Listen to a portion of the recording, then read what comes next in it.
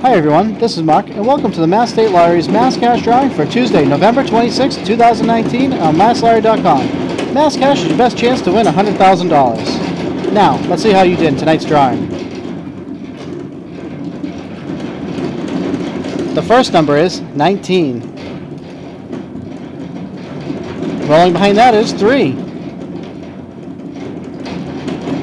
Followed by 33. If you've matched these three numbers, you've already won a prize. And here comes 22. And finally, 30. Once again, the winning mass cash numbers for Tuesday, November 26th are 3, 19, 22, 30, and 33. Remember to log on to masslottery.com, Facebook, and Twitter to watch all of our drawings. Good night.